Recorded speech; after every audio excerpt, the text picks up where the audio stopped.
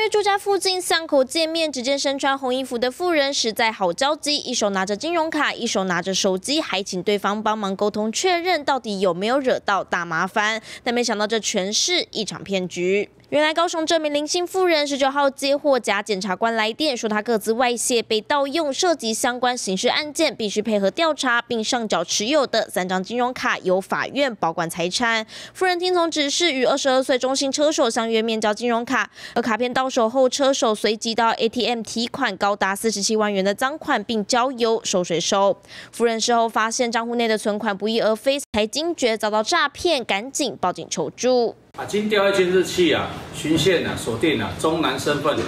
并向检察 官申请拘票，于鼓山区啊将他逮捕到案。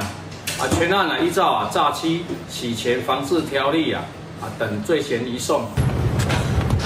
警方调查后发现，这名年仅二十二岁的中性嫌犯宛如诈骗集团中的实习生车手，只参与两次诈骗提款就狼狈落网。夸张的是，这一回一共提领了四十七万元的赃款，但事后却只拿到一万元的报酬。被抓到后，不但得负责赔偿，还得面临诈欺刑责追诉，肯定让他后悔莫及。经新闻黄玉婷采访报道，立刻下载静新闻 App，一手掌握新闻时事，尽善尽美，尽好新闻。